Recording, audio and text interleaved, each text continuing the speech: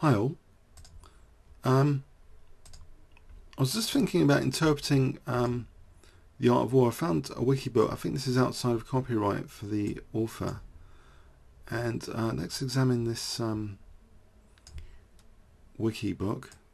Uh, so the art of war. I've just been inspired actually by a Peter Sellers film called Being There, where this gardener is uh, taken as like anything he's saying is being taken as profound wisdom.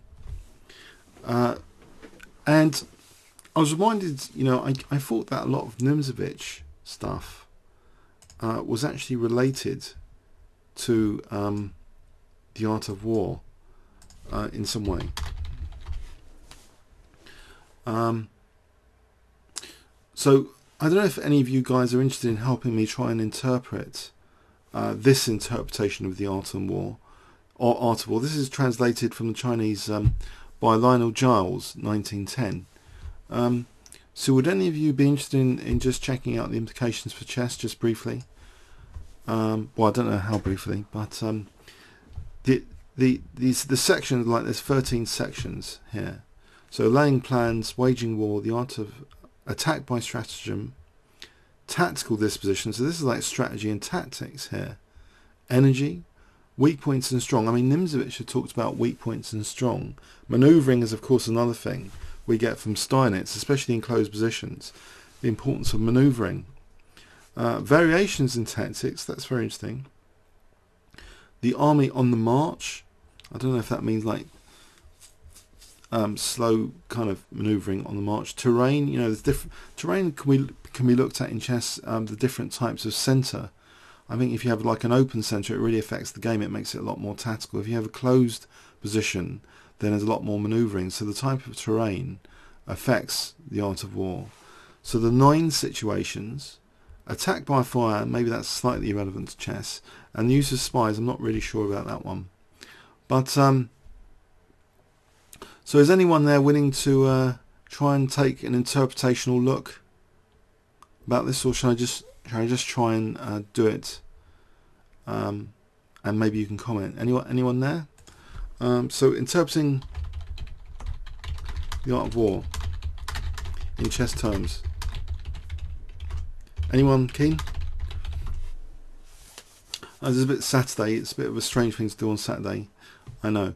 But um, yeah, I, I've been sort of just inspired. I've got this moment of inspiration, crazy inspiration from watching this Peter Sellers film called Being There. So, so basically, in the Peter Sellers film, um, the things he said about the garden, like the seasons and strong roots, were interpreted in a completely different context about economic policy. But on the other hand, you can argue that gardening is a is a powerful metaphor uh, for economic policy. So I thought, hold on a sec. What about chess? And I did sort of mention actually to ChessCube um, in the recent competition about the name of a tournament, and I said the art of war actually, and that was one of the chosen uh, things for for some ChessCube tournaments, the art of war. Because um, I've always thought actually um, it's it's an ancient uh, Chinese manuscript about how best uh, you use your resources in the light of a competitive situation, and that's a bit abstract. Uh, but you know, Nimzovich was often a bit abstract, and in chess, if you don't just want to be an if-then calculator, then I think having abstract ideas really helps. Uh, an abstract foundation, I think, is the cornerstone of a player that not just wins, but wins games with ease, without too much heavy calculation. If you have these fundamental concepts uh, behind you. Uh, so here, you know, we, we've got a kind of um, you know, abstract view here of the art of war. So let's see uh, chapter 1, laying plans, and to see the relevance. So we click on laying plans. Uh, so Sun Tzu said, the art of war is of vital importance to the state. Okay, in chess it's just um, winning with white or black. okay, it's a matter of life or death, a road either to safety or ruin. Hence, it's a subject of inquiry which can on no account be neglected. Okay. The war is governed by five constant factors to be taken into account uh, in one's deliberations when seeking to determine the conditions obtaining in the field. So we've got the moral law, heaven, earth, the commander, method and discipline. Um, at the moment, this seems super, super abstract. It's not really that relevant for chess. Um, so if we look into the moral law, so causes the people um, to be in complete accord with their ruler. So they'll follow him regardless of, of, of their lives, dismayed by any anger. Well, in chess, um, well, the pieces are, are following um, to try and win the game, and they can sacrifice themselves. Heaven signifies uh, night and day, cold and heat, times and seasons. Actually, in the Peter Sellers film, you know, the seasons was mentioned, so don't expect growth in the winter season. You know, expect it in, in, in you know, the spring and summer. So the seasons actually dictate almost like expectation. Um, so may, you know maybe all of these have an influence on on expectation in some way. Um, so the Earth comprises distances great and small, danger and security, open ground and narrow passes, the chances of life and death. Not really sure how this could relate to chess. Um, maybe speak up if you've got any ideas. Um, okay, I think it's just too abstract at the moment maybe. The commander stands for the virtues of wisdom, sincerity, benevolence, courage and strictness. Well, I guess when you play chess, you do have to be um, strict with yourself, have have confidence, have benevolence, have have all these. You you as the chess player are the commander, maybe. So you need to be wise, sincere, benevolent, courage and strict uh, with yourself. So maybe the commander is us as the player, and the moral law is just our chess pieces that they have to follow uh, method and discipline. okay. Uh, so method and discipline understood as the marshalling of the army in its proper subdivisions, the graduations of rank among the officers, the maintenance of roads by which supplies may reach the army, and the control of military expenditure. Well, I guess in chess we do have um, a ranking system for the pieces that we consider the pawns to be the lowest rank, but on the other hand they can promote to queens and they can be very useful.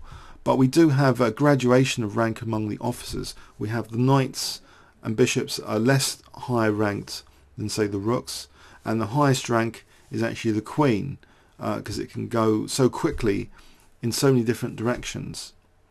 Uh, so the maintenance of roads by which supplies may reach the army and the control of military expenditure. Okay, so I think um, we're talking about the chess player as the commander and the method and discipline um, sort of being aware of the ranking of the army and stuff.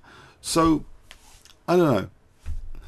Um, okay, I'm wondering. Um, this this is really just super abstract stuff. So um, I think I'm going to just save each chapter online soon, just in case it gets lost. And this is indeed of any interest uh, later. So, okay, let, let's let's continue here. So these five heads should be familiar to every general. He who knows them will be victorious. He, will, he who knows them not will fail. Okay. Therefore, in your deliberations, when seeking to determine the military conditions, let them be made on the basis of comparison. oh, sorry, Brian. I've I've just been inspired by this film uh, called Being There by Peter Sellers. Eight, eight out of ten actually on IMDb, uh, where this gardener, his his his uh, interpretations of gardening are taken as um, analogous to economic policy. So, for example, to expect seasons in the garden, like in the winter, you're not going to have much growth and they were all taking Peter Sellers to be talking very profoundly about economic policy. And, and towards the end of the film, he's like become a candidate for being president. And it just reminded me actually of the art of war, because I actually always felt that Nimzovich may have nicked some of his ideas from the art of war. Um, well, most evident if you look on the structure. If we just, we'll get back to point twelve. But if you look at this structure, you'll see weak points and strong is, is in Nimzovich, you see. Weak points and strong manoeuvring, Steinitz, uh, and terrain could be like the center. You know how different types of center can affect the whole uh, play. Because in an open game, you'd be more tactical than a closed game. Um, these seem irrelevant to chess, but some of these seem very interesting. Um, but I'll save after each section. So just, just laying plans actually. We're just checking laying plans at the moment. Um, so basically, um, okay, so the general that hearkens to my counsel acts on it will conquer. Let such a one be re- retained in command. The general that hearkens to my counsel nor acts on it will suffer defeat. Okay, let one be dismissed. Um, okay, sorry. So he's take. So basically, we we start off with with these uh, kind of five constant factors uh, that were established. So they're talked about here. And then these five heads should be familiar to every general. And so basically the assertion is that if you know these five things, you'll be victorious and you fell. And in your deliberations, um, so we have these deliberations as well of, of comparison. So which of the two sovereigns, should we call the sovereigns white or black, be imbued with the moral uh, law? Which of the two generals has the most ability? Um, with whom lies the advantages derived from heaven and earth? I don't really know. That's beyond me. Heaven and earth, night and day, cold and heat, times and seasons. Earth, distances great and small, danger, security, open ground and narrow paths, chance of life and death. It's it's super abstract, and I think people have interpreted the art of war for for businesses as well. They've done business versions to try and use these things because it's basically how you you best use your resources in in different contexts, really. Um, but so I'm trying trying to sort of see uh, if we can decipher this. With whom lies the advantage? On which side is discipline most rigorously, rigorously enforced? Uh, which army is stronger? On which side are the officers and men more highly trained? Um, in which army is there greater constancy, both in reward and punishment? Um, I don't know about you guys. I find that difficult to interpret in chess terms. Um, I was hoping passwords would be here. I don't know. Is passwords here? Because I think he's very keen on um, these things uh, and helped earlier. I'm not sure. I'll just see if he's around on ChessCube. One second. Uh,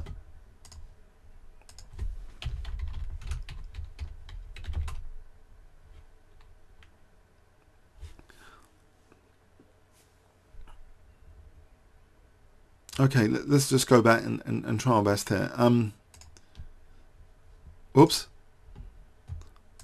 Okay. Um, okay. Uh, so.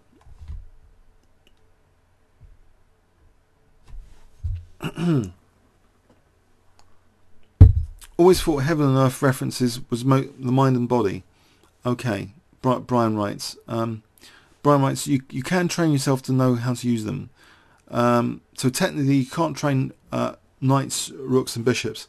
So I guess in, in chess terms, you take um, the discipline of your army at this point uh, to be for granted that your knight's always going to be acting as a knight. Um, except if they're pinned or something, then they can't really act as the full piece, can they? Uh, or the bishop's pinned. But gen- generally, they have discipline. the pieces generally have discipline. They don't like. Okay, so um, let's see. When heeding the profit, the counsel, and and yourself, also of any helpful circumstances over and beyond the ordinary rules, according as circumstances favour, one should modify one's plans. According as circumstances are favourable, one should modify one's plans. I, I, guess in chess you modify your plans depending on the position. Uh, so you have to modify your plans. That is a kind of chess, chessy thing to be more adaptable. Don't just stick with your plans that because the position might have changed. Could could we could we say that's simply does does equate well to chess. This particular point 16. Um, all warfare is based on deception. And actually, I raised this earlier in the cafe, actually, before starting this live stream, that in chess, you, you might want to veil your threats, not have them too direct and blatant. If you have a threat that's easily parried, you might end up being in a worse position after it's been parried. There's also in chess the idea of maintaining the tension. So you're you're creating the, the concern of, of a lot of threats. Um, so this this gets very very interesting actually here for chess terms because these are hard hitting. All warfare is based on deception. Do we really think of that in chess? I, sp- I guess as we get more refined as a player, we stop going for the fool's mate, which is an obvious threat, you know, bishop c4, queen f3. So we put that away and we, we start to play more and more refined, you know, complex opening systems. So in a way, are we kind of making our threats more and more subtle? Then we're indulging in, in positional play just to win squares. So you start as a beginner, you know, trying to just make the opponent. Then you're thinking about material. Then later you might be thinking about winning squares, and it all becomes more and more subtle. And in a way, so the threats are becoming more and more deep. Um, so maybe you know this this statement, you know, relates to that. That you become more and more um, refined, sophisticated would be the word. W- would you guys agree with that? Um, so when able to attack, we must seem unable. When using our forces, we must seem un- inactive. Often, um, you know, in certain opening systems, um, you know, sometimes the opponent can have a seemingly um, um passive position, or or they use provocation. Brian, you demonstrate this quite often in your games, uh, especially when you trade off knights for bishops to, or, or, take out the opponent's advantage. Use your control of a certain uh, square or colour squares. Yeah, I, I think, you know, well, the Alekhine defence is provocative. Uh, we must make the enemy believe we are far away. When far away, we must make them believe we are near. I think this all stems from this idea all warfare is based on deception. Well, I think in the King's Indian there's a kind of deception that you're inviting uh, your opponent to you know take control of the center thinking that it will be strong but actually it's deceptive because the center can later be undermined. So there's there's certainly opening systems which are based on this idea. The hypermoderns yes. Uh, Joan Pib uh, mentions the hypermoderns. So in a way that is based on deception because there was an illusion created in the evolution of, of like chess style that you had to occupy the center and so that idea uh, became a basis for deception later with the hypermoderns saying, well, you occupy the centre and we'll, we'll blow it up later. So it's kind of deceptive there in a way that the hypermodern theory uh, sort of uh, inverting this idea that you don't actually need to occupy the centre. It's more about controlling it, and not immediately, but controlling it later. So maybe this is echoing in chess quite strongly. Um, so when uh, able to attack, we must seem unable. So, because otherwise, your opponents will will parry uh, your threats quite easily. But if if they didn't see the threat coming, uh, so maybe that's a combinational blow as well. Because in a combinational blow where you say sacrifice a piece, the opponent might not have seen that coming. Um, but sometimes you don't want to set those combinational blows as as traps which might compromise your position. I, I think I'd qualify that. As long as the traps you set don't compromise your position, then it's good this concealing of, of attack uh, is, is useful often if they don't see a combination or blow coming. Uh, but I wouldn't like play for traps uh, myself. Um, unless it was a war zone and you had to win very quickly, you know, the game. Um, hold out bait to entice the enemy. Well, in chess we do have decoys and deflection, so we offer material to entice, uh, you know, pieces to certain squares. Feign disorder and crush him. Feign disorder and crush him.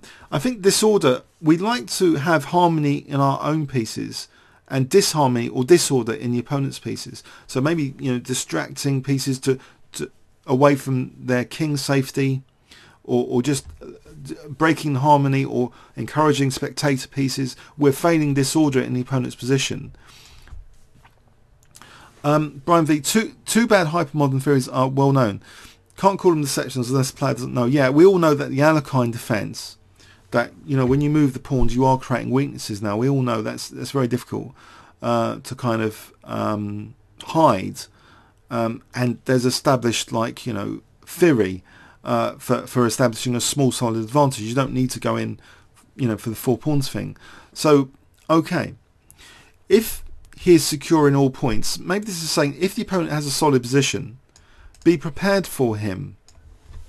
Maybe that's kind of saying, look, if the opponent's got a solid position, uh, still be prepared for it, maybe to create weakness, maybe encourage weaknesses. If he is superior in strength, evade him. I think we sometimes want to play where we're stronger on certain parts of the board and where the opponent's got the advantage. So say in the King's Indian and you're playing black and the opponent's traditionally got the queen side, you don't really want to play there. You want to play where you're stronger on the king's side.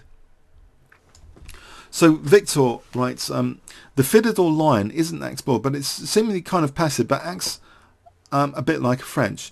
I, I, think you're right, and I lost to that in, in the season because if you're not careful, you underestimate it. And black does lovely manoeuvring to get dark squares, like a manoeuvre a knight to d4, like, you know, knight f8 to e6 to d4. And it seems passive, but, you know, black plays like move like rook e8, bishop f8, and then all of a sudden black's threatening e d4 and the pressure on the e pawn then you've got the knight maneuvers coming in. Then you've got the c5 square. You've got to be very careful not to play a move like d takes e because you're giving black the c5 square. And in the French, similarly, uh, Brian writes, um, Brian V writes, uh, definitely in the French defence, white has a much wider range of mobility. Uh, you would consider locking up the position and rerouting resources on the queen side. Yeah, I, I think, uh, and you might even try casting on the queen side because you don't want to castle where the opponent's strong on the king side, do you? You, you know you'll get mated.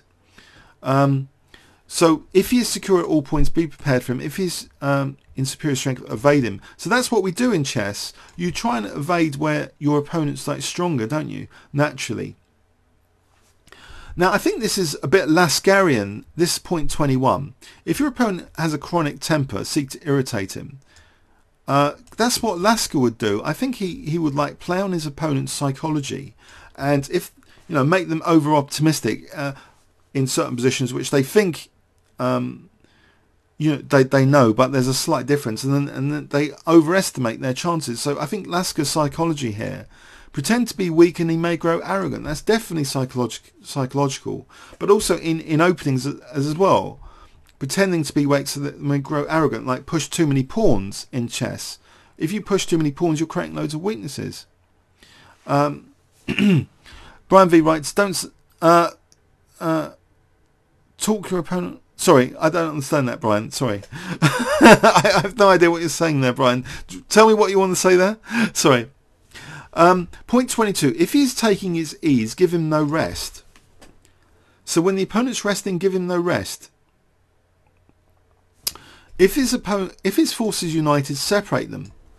I suppose that's spreading disharmony. Doesn't that relate to what we've said earlier about disharmony? If the opponents united, separate them. You don't want your opponent's pieces working too well together. Attack him where he is unprepared. Appear where you are not expected. I think that's a bit difficult because if you've got an advantage on the queen's side, then you're going to strike a blow on the queen side. You might have passed pawns on the queen side. So I think that's almost a contradiction. How can you appear where you're not expected? But the thing is about that, sometimes in, in, in the King's Indian, you can have an attack raging on the queen side, but then infiltrate on the seventh rank to get to the opponent's king. So it's almost unexpected that you, you make a transition from the queen side to the king side. Um, oh, right, you've, you've said exactly the same thing as me just there uh, Brian V. Fly, flying your queen from the A file to the H file, rook lifts, etc. You're right. So the rooks have that great versatility to appear where they're not expected. Qu- quite right. Yes. 24. Um, Brian V writes pawn preparation uh, to fianchetto. Fischer did this, but not didn't fianchetto. Right.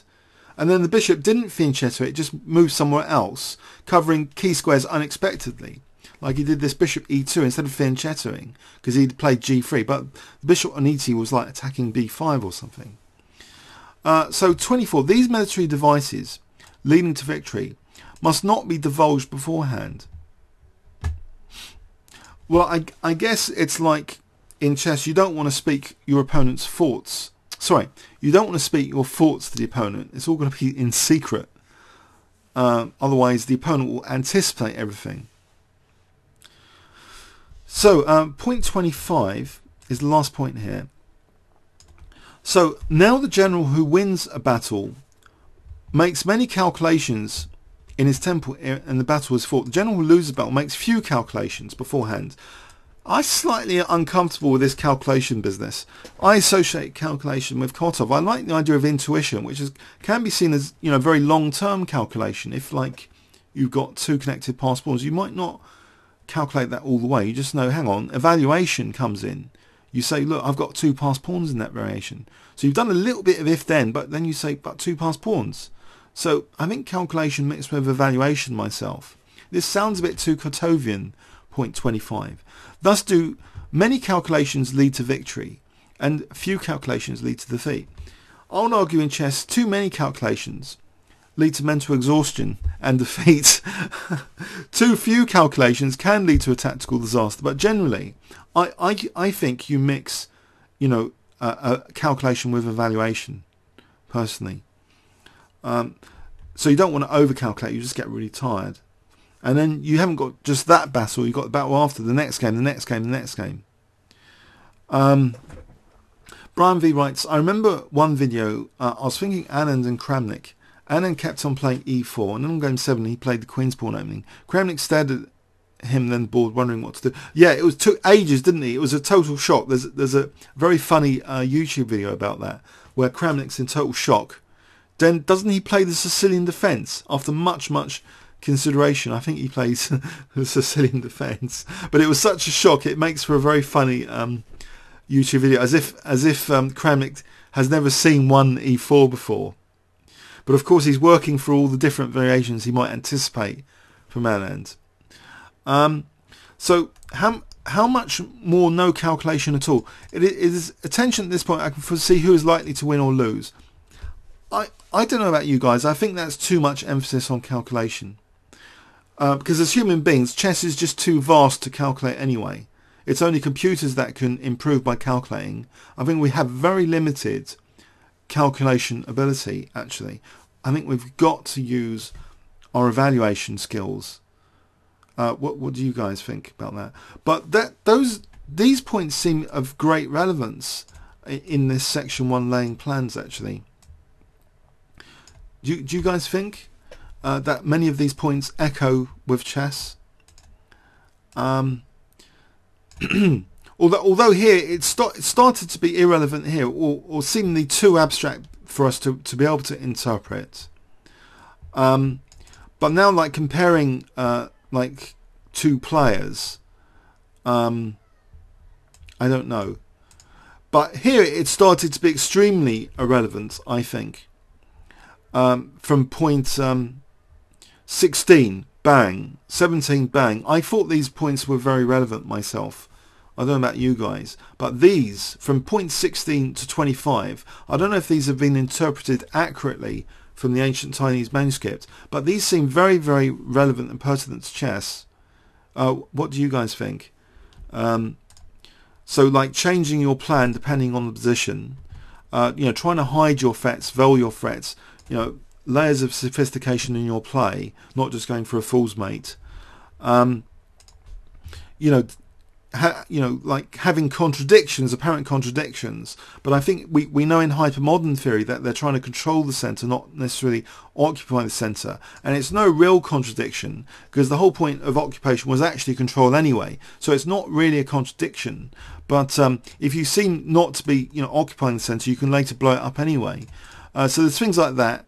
Um, holding out bait to entice the enemy, fe- feign the signal or feign disorder and crush him. So it's like you know sacrificing, you know decoys, deflections. I think the deflection is one of the most common uh, tactic uh, motifs.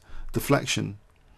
Um, so if the opponent's solid, be prepared for him. I think is that like maneuvering? You could just maneuver a few bits back, just waiting for weaknesses, so you're being prepared. You don't have to make concessions. Just the if the opponent is has a very solid position, I think you just need to stay prepared.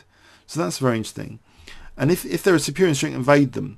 I think where the opponent's playing on the on, on parts of the board where they're stronger, you don't want to play on those parts of the board. Uh, and this this is Laskerian psychology, I think. This point here. Okay, so attack where unprepared, appear where you're not expected, and this stuff about calculation, I'm not sure I completely agree with in in, in chess terms.